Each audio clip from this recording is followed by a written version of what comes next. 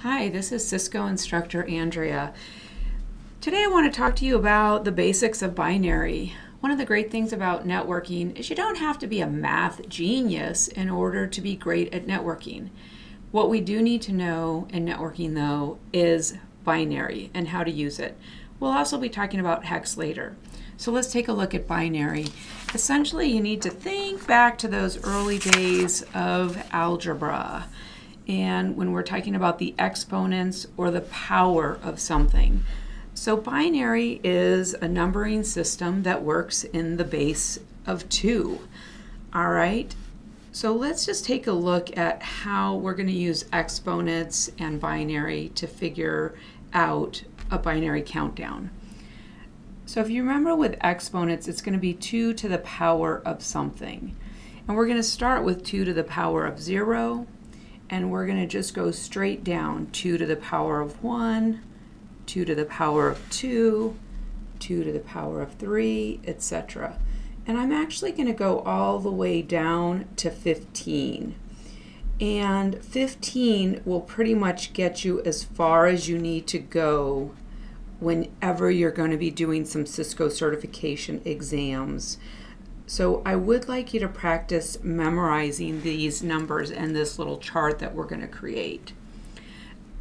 So again, thinking back to algebra, if you do 2 to the power of 0, any number to the power of 0 is going to always equal 1. So 2 to the 0 equals 1. Now let's do 2 to the 1. So any number to the power of 1 equals itself. Right? Now if we do 2 to the power of 2, what that means is we need to do 2 to the power of 2. That equals 4. And the way we arrive at that is 2 times 2. So we need to multiply 2 two times. That equals 4. Okay, let's do 2 to the third. 2 to the third equals 8. I do that math by doing 2 times 2 times 2. So 2 times 2 is 4, times 2 is 8. Let's do 2 to the fourth. 2 to the fourth equals 16. Let's do the math. 2 times 2 times 2 times 2. So 2 times 2 is 4, times 2 is 8, times 2 is 16. Let's do one more. 2 to the fifth. 2 to the fifth equals 32. So we're going to do 2 times 2 times 2 times 2 times 2. We've got five twos. 2 times 2 is 4, times 2 is 8, times 2 is 16, times 2 equals 32. All right, so let's take a look at what I'm hoping you're noticing is a pattern here. 1 plus 1 is 2, 2 plus 2 is 4, 4 plus 4 is 8, 8 plus 8 is 16, 16 plus 16 is 32. So everything's just doubling. Now this math becomes easy. We do 2 to the 6th, I know that means 32 is going to get doubled, so it's 64. 2 to the 7th is 64 doubled, that's 128. 2 to the 8th is 128 doubled, and that's 256. 2 to the 9th, I double 256, and I get 512. 2 to the 10th, I double 512, I get 1024. 2 to the 11th, I double, I get 2048. 2 to the 12th, I double, and I get 4096. So I can still do 2 to the 12th in my head fairly easy by doubling 2048. Eh, now I'm getting 2 to the 13th. Let's take a look at how we can use a calculator to start solving for these larger numbers. What you need is a scientific calculator. The scientific calculator you can find on your uh, start menu or even just a regular calculator. We're going to be working with a base 2 because we're doing binary, so 2. And then we want to use x to the y. So the 2 is our x value, and y in this case will be the 13. Okay, so 2 to the 13th equals 8192. So 8,192. Let's do 2 to the 14th. So 2 raised to the power of 14 equals 16,384. And let's do the last one.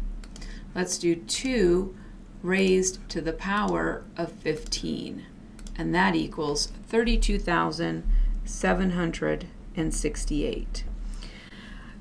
If you can get this high and memorize these numbers, so basically the memorization just requires doubling everything. That is going to really help you whenever you're having to solve for the networking problems that we'll be doing later in the chapters.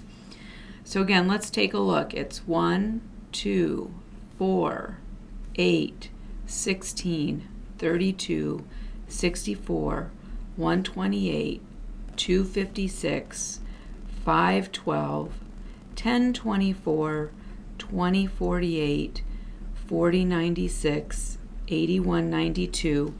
Now, if you get stuck here doing it in your head, if you just double 8,000, we know that it's going to be 16,000 something. So that gets us closer. Same thing goes here. If I double 16,000, I know that that's going to be 13,000 something. So start working on these. Let's just take a look at this in a nice clear format. Okay, so there's what we're looking at.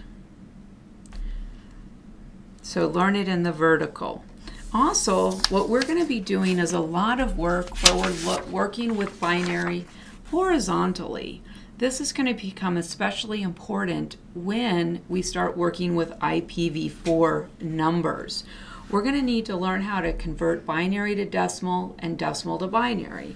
Again, we know that binary is just two numbers. We're always dealing with ones and zeros, right? Ones and zeros, zero, zero, ones, whatever that looks like. So let's just look at how this works out on a horizontal. 2 to the 0 equals what? We know that any number to 0 is always going to equal 1. 2 to 1, that's going to equal itself.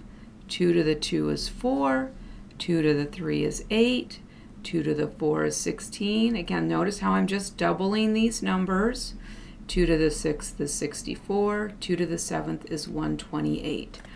So there's eight positions here. We go from 0, 1, 2, 3, 4, 5, 6, 7. So we actually have eight positions. That's the magic number when considering IPv4. An IPv4 is made out of 32 bits, or four octets, each of eight bits. So I want you to notice these numbers and remember them. These are going to become really important. This 1, 2, 4, 8, 16, 32, 64, 128 when we're creating IPv4 addresses. This is called an octet. An IPv4 address is made up of four octets. We've got one, two, three, four.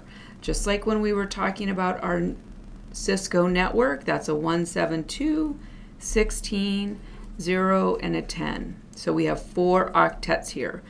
This is the decimal. What we're going to learn in our next lesson is how to convert decimal to binary and binary to decimal.